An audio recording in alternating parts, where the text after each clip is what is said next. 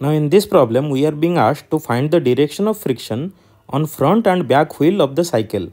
The cycle runs on a horizontal road by pedaling. Now in this question if we see as a whole the cycle runs towards right right if we rotate these pedals clockwise then as a whole the object moves towards right and if we apply our normal rule that the object moves towards right so relative motion of the object with respect to the other surface is towards right and hence friction should be towards left. Now this is not exactly true in this case. So how to find and why does this not happen here? Imagine let's say this back previous surface this back surface is frictionless let's assume. So if in that case we do pedal the surface so on pedaling the chain of the cycle it is connected to the rear wheel right? The back wheel.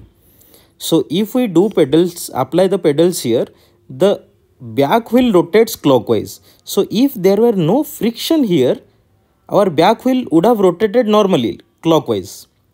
Now if it rotates clockwise in that case at the bottommost point the direction of velocity will be this way. At this point it will be this way at the topmost point this way and here it will be this way. So at each point the direction of velocity is different right?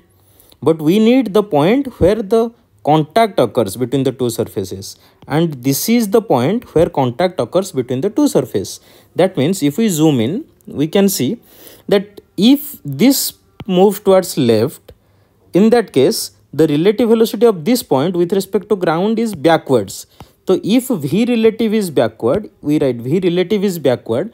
That means friction at this point should be forward because friction opposes relative motion, right? That means because of pedaling, only the rear wheel rotates, not the front wheel. The chains are not connected to the front wheel.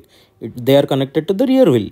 Now rear wheel rotates, hence for the lowermost point, the relative velocity with respect to ground is backward so friction acts forward. So what happens for the front wheel? For the front wheel there is no chain connected. They are connected by rods. So this rod basically gives a push force. This push force horizontal component makes it move. Imagine if there were no friction here.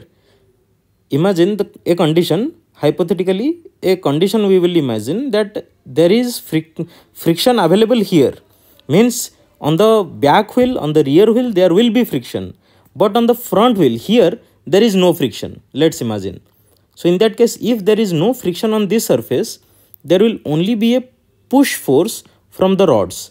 This push force has a horizontal component and this horizontal component will make this wheel slide over the surface.